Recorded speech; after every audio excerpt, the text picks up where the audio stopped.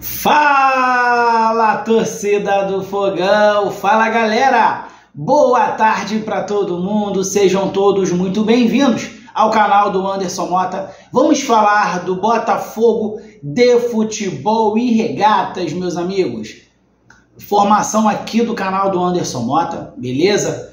Ontem o nosso técnico deixou vazar que o Botafogo procura jogadores para duas ou três posições. Vamos falar sobre. O Botafogo procura jogadores zagueiro, meia e ponta. Sim, o Botafogo pode trazer dois jogadores no meio para frente. Formação aqui do canal do Anderson Mota. Agora, pessoal, Botafogo, camisa mais bonita do mundo em votação a camisa do Botafogo é eleita a mais bonita do mundo.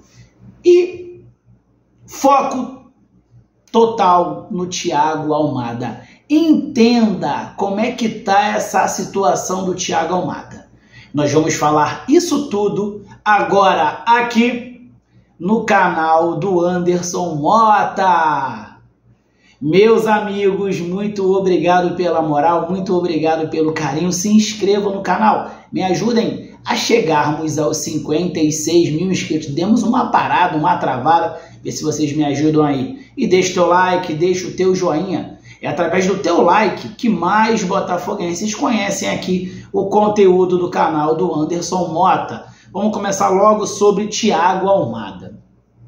Botafogo e Thiago Almada entenda a busca pelo meia do Atlanto Night.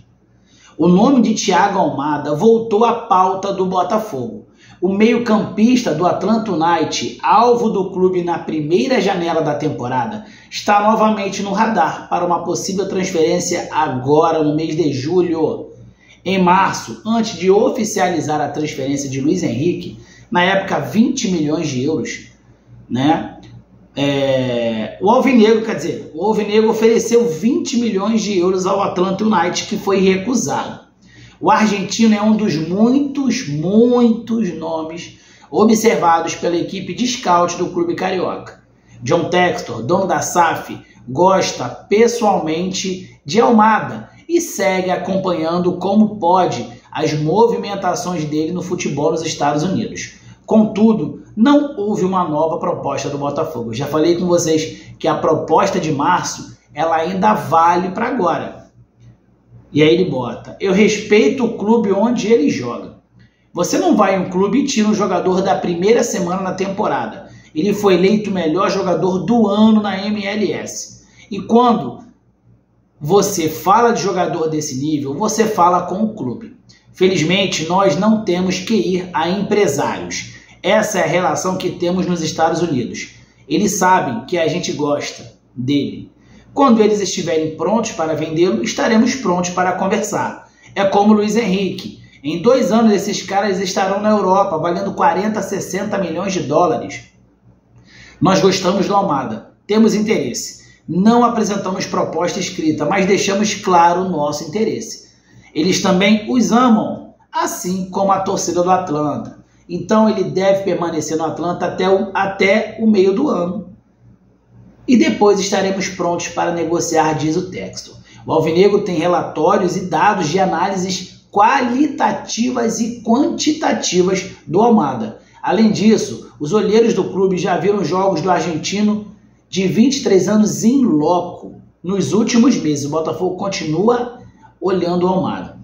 Além da grande quantidade de dinheiro, que uma operação de, de tamanha é envolvida, o Thiago Almada ainda não deu sinal de querer voltar para a América do Sul. Revelado pelo Vélez e na MLS desde 2022, o argentino já afirmou o desejo que seria uma transferência para o futebol europeu. O Boca Juniors é outra equipe que segue de perto a situação do jogador. Nesse sentido, o projeto multiclubes de John Textor, que também é dono do Lyon, do Crystal Palace e do RWD Molenbeek, pode ser uma vantagem para o Botafogo. Assim como no caso do Luiz Henrique, uma transferência com caminho traçado para um dos clubes co-irmãos seria uma possibilidade mais concreta para o Thiago Almada. O Atlanta United espera receber algo próximo de 30 milhões de euros, que isso, pelo jogador. Uma das propostas mais altas que foram sinalizadas nos últimos meses foi justamente a do Botafogo. Nenhum clube chegou perto das cifras do que o norte-americano, do que o Textor é, fez. Essa janela de transferências pode ser a última. Agora tento entender. Essa janela de transferência pode ser a última oportunidade da equipe americana ter algum dinheiro com o meia. O contrato dele acaba em 2025, o que possibilitaria a assinatura de um pré-contrato com, outra, com outro clube em dezembro. É, Almada é um dos principais nomes da MLS e craque do Atlanta United. O bom desempenho vinha rendendo convocações para a seleção da Argentina, mas ele acabou ficando de fora da Copa América, porque ele vai jogar as Olimpíadas, né? Não tem como o cara jogar a Copa América e jogar as Olimpíadas.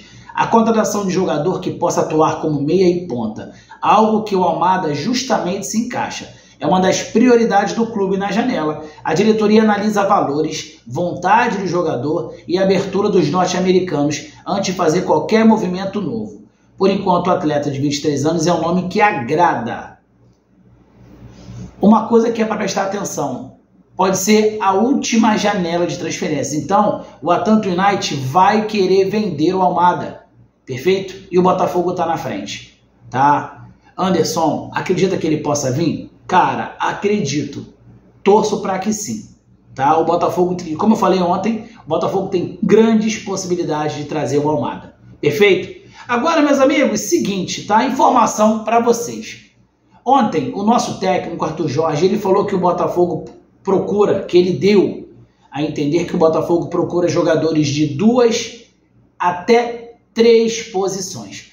Muitas pessoas estão achando que pode ser um lateral esquerdo. Eu apurei ontem à noite, tá? Que o Botafogo procura um zagueiro, todo mundo sabe, tá? Um meia e um ponta esquerda. Por que, ele falou dois ou três posições? Pode acontecer do Botafogo trazer um zagueiro e um jogador na frente que joga tanto centralizado como na ponta? Pode. Mas pode também o Botafogo trazer dois jogadores pode acontecer do Botafogo fazer um pacotezinho, tá? E do setor ofensivo vir dois jogadores. Aí vocês vão falar um monte de nome que estão sendo chutados na internet, correto? Anderson, Coutinho. Cara, informação que eu tenho é que o Botafogo teve interesse no Coutinho sim, mas isso faz tempo. E o Coutinho sinalizou que quer encerrar a carreira no clube do Vasco da Gama. É isso que eu tenho, não tenho mais nada. O que eu tenho para vocês é que o Almada realmente é um jogador que o Botafogo está com foco total. Vamos torcer. E o zagueiro, sabemos quem o Botafogo mira, é o Joaquim. Primeiro nome é o Joaquim. Anderson, pode ter um outro zagueiro? Para o Botafogo não observa apenas um. Claro que pode. Podemos ser surpreendidos? Podemos ser surpreendidos e eu quero ser surpreendido. Correto, meus amigos? Hoje, live às 19 horas. 19 horas estaremos aqui para falarmos muito do Botafogo de futebol e regatas. Então, galera, antes de sair, deixe teu like, deixe tua inscrição. Grande abraço, saudações alvinegras e ó, fui! Valeu, galera!